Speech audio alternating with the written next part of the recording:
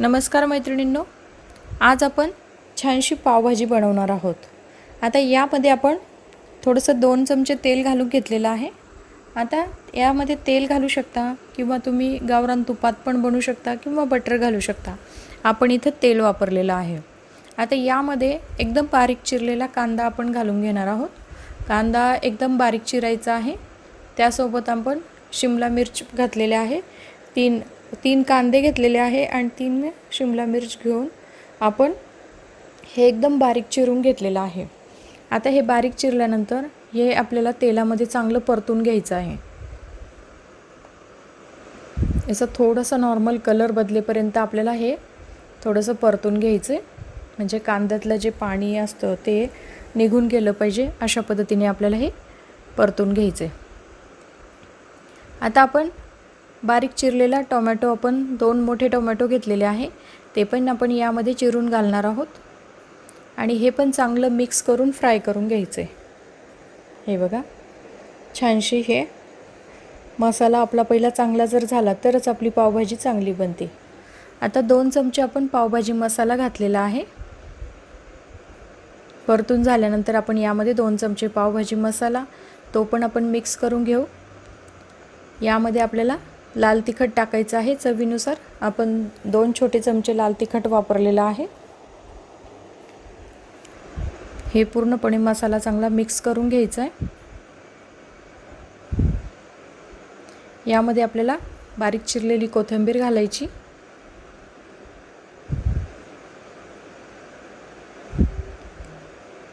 हे बघा.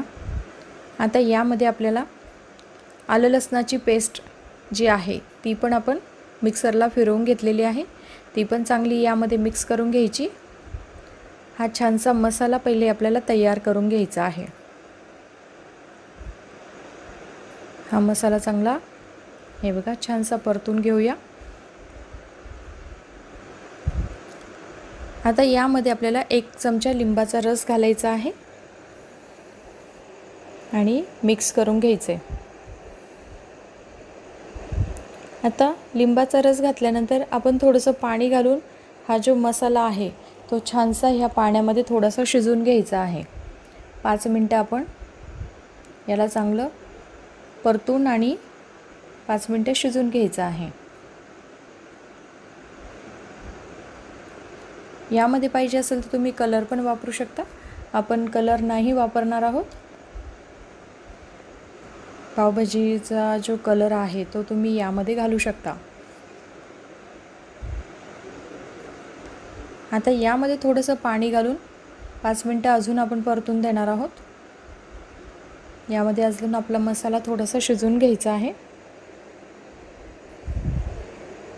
आता जो ज्यावेळेस आपला मसाला चांगला शिजल्यानंतर त्यामध्ये आपण हे ग्रीन पीस घालणार आहोत. आपण एक वाटी ग्रीन पीस घेतलेले आहे.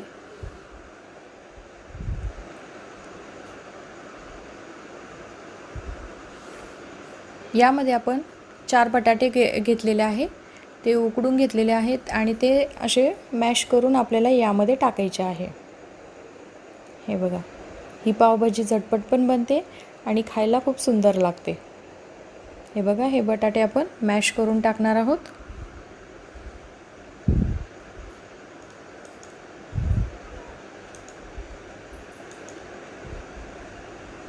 आणि हे छानसं आपल्याला परतून घ्यायचं आहे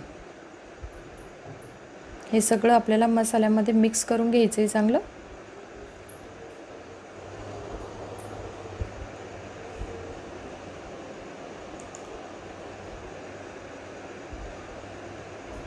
आणि आता मॅशरने आपल्याला चांगलं मॅश करायचं आहे हे मॅश केल्यानंतर खूप छान ही भाजी आपली बनली जाते. आता आपल्याला आवडेल त्या पद्धतीने आपण हे मॅश करणार आहोत. हे बघा अशा पद्धतीने आपल्याला हे पूर्णपणे एकत्र एकजीव करून घ्यायचे. आता यामध्ये चवीनुसार मीठ घालून घ्यायचे. मीठ घातल्यानंतर आपण हे चांगलं व्यवस्थित मिक्स करणार आहोत. आता याला पाच मिनटं पाच ते सात मिनटं आपण शिजून घेणार आहोत. आपल्याला पाहिजे असेल तर आपण यामध्ये थोडंसं पाणी घालून शिजवून घेणार आहोत. आपल्याला जर पातळ भाजी आवडत असेल तर थोडंसं पाणी घालायचं. आणि एक उकळी आल्यानंतर आपण यामध्ये कोथिंबीर घालायची.